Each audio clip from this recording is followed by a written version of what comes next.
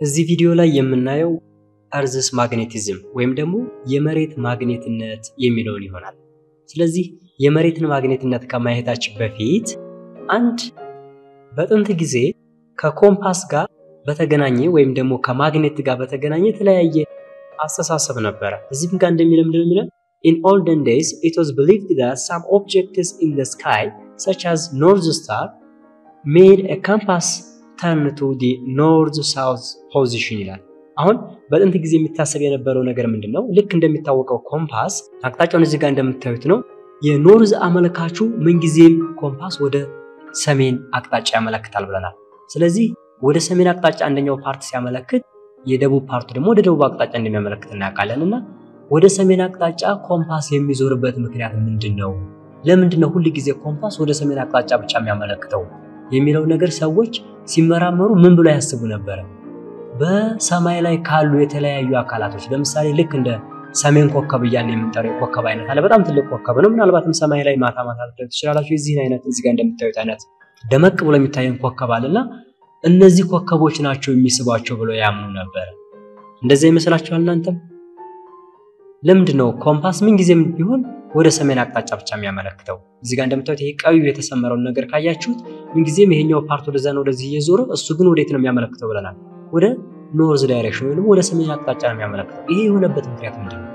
ልክ እንደ ጥንታውያን ሰዎች ነው የምታስቡት? የሆነ የሰሜን ኮከብ ስለሚስባቸው መስሎ ይሰማችኋል እናንተ? ለምን ይመስላችኋል? እሺ ስለዚህ ሳይንቲስቶች ለዚህ በጣም ብዙ ነገር ከሞከሩ በኋላ መልስ አግኝቷል። ምንድን ነው የሚለን? but now the answer for this question is magnetic natures of earth ይሄ የሆነበት ምክንያት የመሬት ራሷ ማግኔታዊነት ባህሪ ስላላት የመጣ ነገር ነው።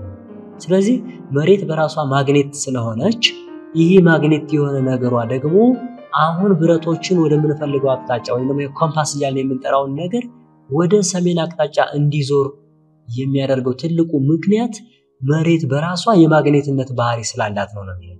ስለዚህ ይህንን በደንብ እንየው። ይሄ እንዴት ሊሆን ይችላል? አሁን መሬት እንደሚታወቀው በፀሐይ ዙሪያ ትዞራለች፣ ከዛ ደግሞ በራሷ አክሲስ ላይ ትሽከረከራለች ነው የምንለው። ስለዚህ ይህንን ነገር ስናይ በደንብ ማስተዋል ያለብን ነገር እዚህም ስዕል ላይ እንደምታዩት መሬት የራሷ ምን አላት ማለት ነው፣ ነገሮችን የምትስበት የራሷ የስበት ኃይል አላት እንላለን። ከዚህም በተጨማሪ ደግሞ መሬት የራሷ የሆነ የማግኔትነት ባህሪ አላት። ስለዚህ እዚህም ጋር እንደሚለን scientists explain that a big magnet exists inside the earth ነው የሚለው። ስለዚህ መሬት ውስጥ በጣም ትልቅ ማግኔት እንዳለ ሳይንቲስቶች ደርሰውበታል ነው የሚለው።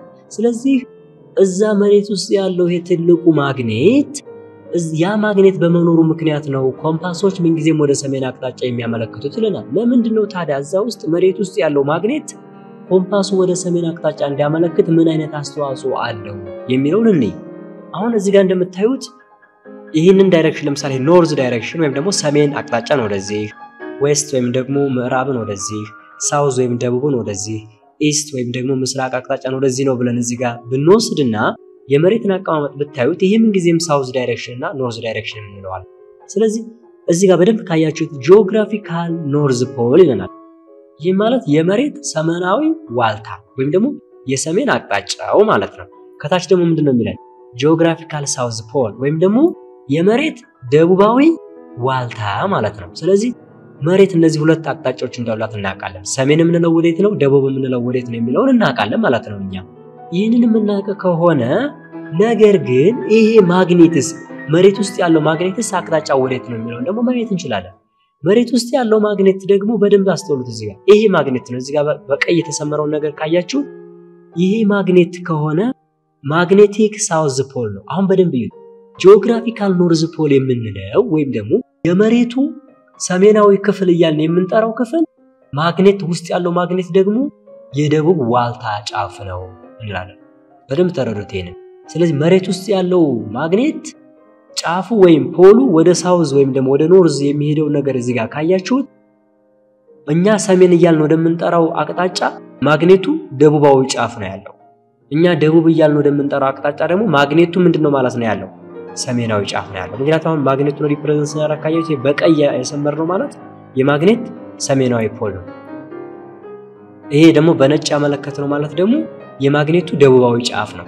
ስለዚህ የማግኔቱ ደቡባዊ ጫፍ ወዴት ነው የዞረው? አሁን እዚህ ጋር ካያችሁት የማግኔቱ ደቡባዊ ጫፍ ወደ ሰሜን ጫፍ ነው ያመለከተው። የማግኔቱ የሰሜን ጫፍ ደግሞ እዚህ ጋር እንደምታዩት ወደ ደቡብ ጫፍ ነው ያመለከተው። ይሄ ማለት መሬት ውስጥ ያለውን ማግኔት አወጥታችሁ ብታዩት ልክ የዚህን አይነት ቅርጽ ነው የሚኖረው። ስለዚህ ሰሜን አቅጣጫ ወደ ደቡብ ነው የዞረው፣ ደቡብ አቅጣጫው ደግሞ ወደ ሰሜን የዞረ ነው pole ኡ ማለት ነው። ስለዚህ እኛ ሰሜን የምንለው በተለምዶ የመሬቱ ምንድነው ማለት ነው። መሬት ውስጥ ያለው ማግኔት ደቡብ አቅጣጫው ነው። በደንብ እዩ እኛ ደግሞ ደቡብ እያልን የምንጠራው ክፍል ወይም ደቡብ እያልን የምንጠራው አቅጣጫ የማግኔቱ የሰሜን ጫፍ ነው። ይሄ የሆነበት ትልቅ ሚስጥር አለው። ወይም ደግሞ እኛ ዛሬ ይህንን ስንጠቀም ኮምፓስ በምናይበት ጊዜ ኮምፓሳችን ለምንድነው ወደ ሰሜን የዞረው? ምክንያቱም እኛ ኮምፓስ እያየን ነው አይደለ? ሰሜንና ደቡብ እያልን የምንጠራው ኮምፓሳችን ነው ሰሜንና ደቡብን የሚለይልን። ስለዚህ ኮምፓሱ ለምንድነው ይህን ሰሜንና ደቡብ እያለ የሚጠራው የሚለውን በደንብ ማየት እንችላለን። አሁን እዚህ ጋር ኮምፓሳችን ውስጥ ያለው ማግኔት እንደዚህ እዩት። በደንብ አሽከረከርነውና መጣ እንደዚህ ከተሽከረከረ በኋላ ኮምፓሱ ምንጊዜም ወዴት አቅጣጫ ነው የሚያመለክተው ብለናል።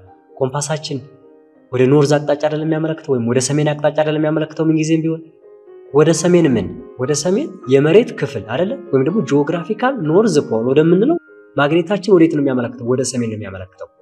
ለምንድን ነው ወደ ሰሜን ያመለከተው? አሁን እዚህ ጋር ሁለት ማግኔት አለን ማለት ነው። በደንብ አስተውሉ። ይህ የኮምፓሳችን ማግኔት ነው።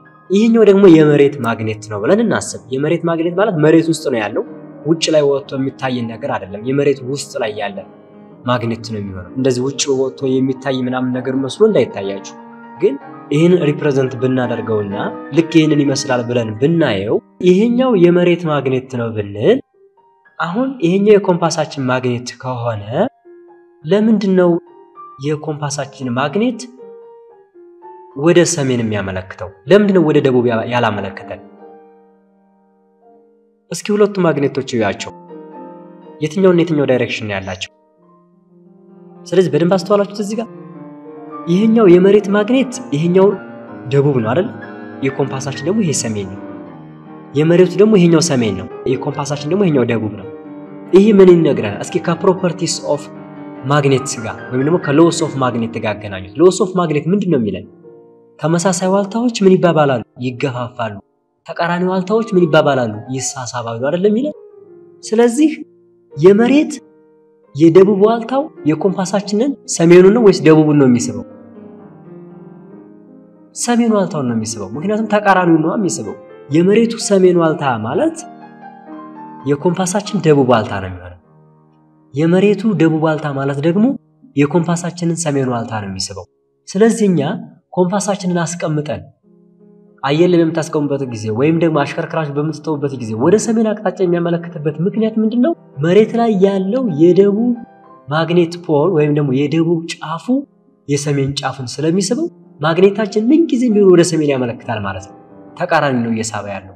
ስለዚህ እኛ ስለ መሬት ለምሳሌ እኛ በተለምዶ አሁንም እዚህ ጋር በደንብ እንድትረዱት የምፈልገው ነገር እኛ በተለምዶ ሰሜን የምንለው ክፍል ካርታ ላይ የምታዩት ነገር ሊሆን ይችላል። ወይም ደግሞ እዚህ ጋር አሁን ኮምፓስ ላይ ሰሜን ሰሜን እያልን የምንጠራው ነገር ሰሜን አቅጣጫ ነው። ይሄ ግን ከመሬቱ ማግኔት አንጻር ስታዩት የመሬቱ ማግኔት ግን ደቡብ pole ነው የሚሆነው። በደንብ መለየት አለባችሁ። ይሄን እኛ ሰሜን የምንለው አቅጣጫ በመሬቱ ማግኔት ከመጣችሁ ደቡብ pole ነው የሚሆነው። እኛ ደቡብ የምንለው አቅጣጫችን ደግሞ በመሬቱ ማግኔት ካያችሁት የሰሜን pole ነው የሚሆነው። ለኮምፓሳችን ግን ችግር የለውም። እኛ በተለምዶ ሰሜን ደቡብ የምንላቸው እኛ ካርታ ላይና ኮምፓስ ላይ የምናገኛቸው ነገሮች ተመሳሳይ ነገሮች ናቸው። እዚህ ጋር ግን በደንብ መረዳት ያለብን ነገር ኮምፓሳችን ወደ ሰሜን አቅጣጫ የሚያመለክተን መሬት ላይ ያለው ማግኔት ወደ ሰሜን አቅጣጫ የተዘረጋው የደቡብ pole ኡ ወይም ደግሞ የእሱ የደቡብ ጫፉ ወደ ሰሜን ስለሄደ ተቃራኒ ማግኔቶች ደግሞ ስለሚሳሳቡ ተቃራኒ ዋልታውን ስለሳበው ይሄ ኮምፓስ እያልን የምንጠራው ነገር ምንጊዜም ወደ ሰሜን አቅጣጫ እንዲያመለክት ይሆናል ማለት ነው። ስለዚህ ምንጊዜም ቢሆን እኛ የኮምፓሳችንን ካያችሁት magnetic north pole ከ geographic north pole አንድ አይነት ነው የሚሆነው ከኮምፓሳችን አንጻር ካየነው።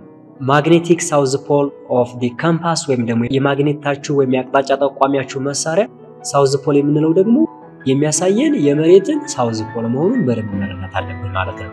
ስለዚህ መሬት ውስጧ በጣም ትልቅ ማግኔት መኖሩን በደንብ መረዳት መቻል አለባችሁ።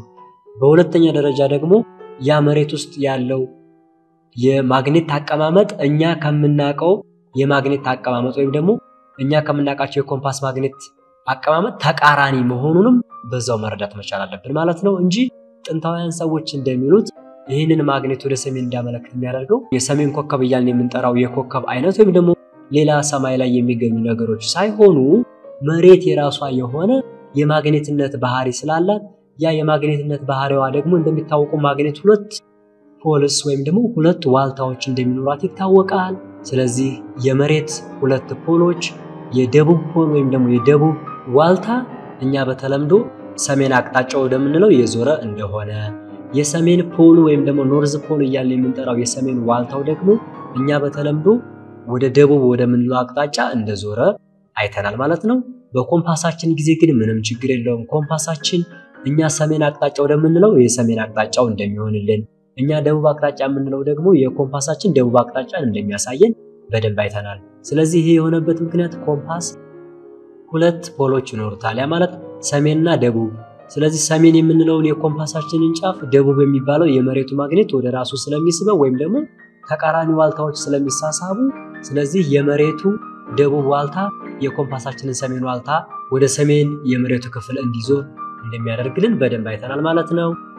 ስለዚህ የዛሬው ቪዲዮአችን ይህንን ይመስላል። ሰላም ቆዩ።